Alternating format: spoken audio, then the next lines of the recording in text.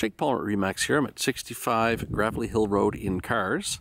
And just to give you a sense of the location, at the end of this driveway, and up to the end a little bit here, we're um, five minutes to the Evandale Ferry, or on the other side, five minutes to Hatfield Point.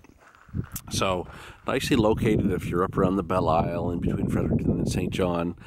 Um, anyway, it's a beautiful, uh, beautiful two bedroom home on a slab uh, on a little over 40 acres. And it's also got a really nice big Quonset hut as well that's fully insulated and fully wired. Anyway, we're going to go into the house and I'll give you a quick tour. Hopefully it gives you a sense of the property.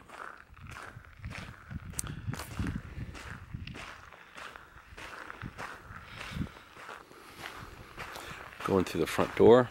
It's uh, late February, about 2 in the afternoon. You see we get beautiful sun on the property here in the yard.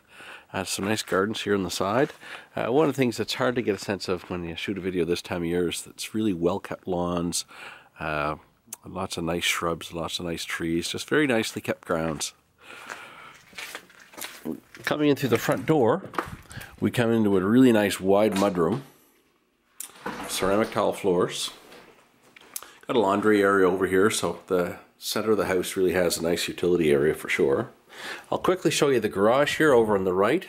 Garage is um, almost 30 by 30, so it's a really nice big deep garage as well as a wide garage. Lots of space to park a car and work on whatever projects you have on the go.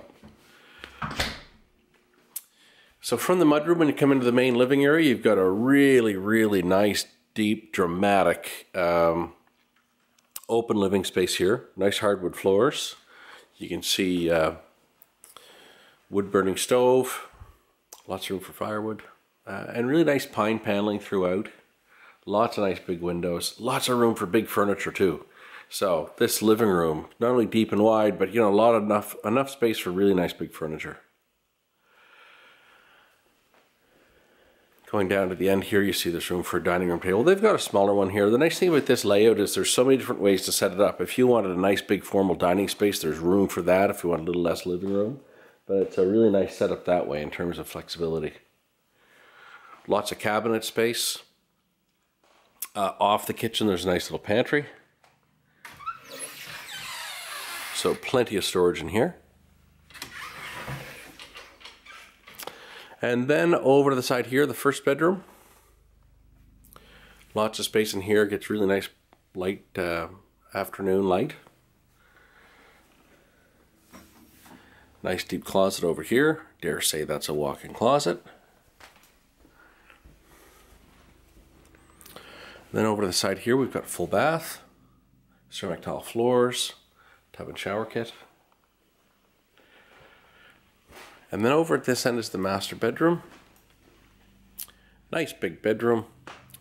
You know, they've got it set up with a king size bed. You can see there's plenty of room for that.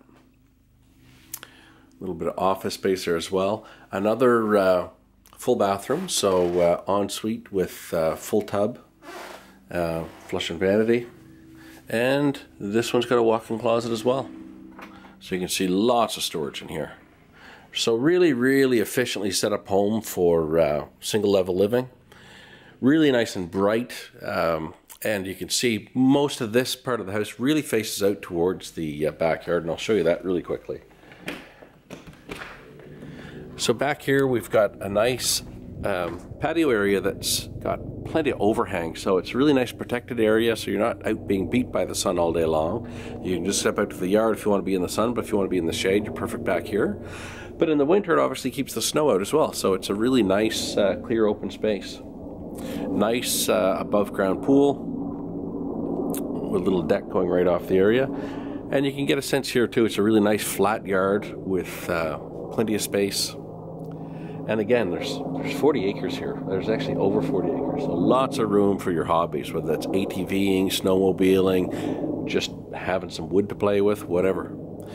And you can see the garage has a back door here as well coming to this back area. A little bit of a laundry stoop over there.